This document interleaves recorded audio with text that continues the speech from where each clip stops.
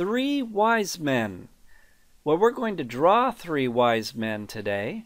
The Bible never says how many wise men there were, but we're going to draw three, starting with a triangle with a circle on top. Here's a smaller triangle. I think that's called an isosceles triangle. Let's draw a little crown, some details on his face, and this is going to be his arm and his hand holding a little chest of gold. That was what the first wise man brought to the baby Jesus. Now let's do our second one, just the same, triangle again, with a circle on top. The nice thing about drawing three of these is you get lots of practice. There's his hand.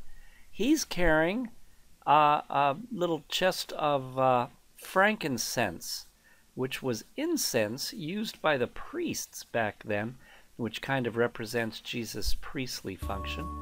And here's our third guy. Again, we get to practice. We got a crown. Let's give him a mustache. And his arm. He's holding a little vat of myrrh, which was kind of a gummy substance, which was used for medicine and oddly enough for embalming. Let's uh, color these guys. When I'm drawing royalty, especially back in this time period, I use a lot of purple. You'll see purple was actually the most expensive dye back then. Um, and so if I'm drawing a king or somebody of great wealth, I often put him in uh, a little bit of purple. This guy we're going to do green though. Let's make him green and color his little vat there.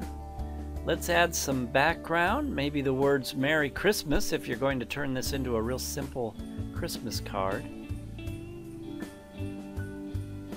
Add the star that the wise men followed all the way from what is now Iraq to find the baby, and you've got a nice Merry Christmas Christmas card.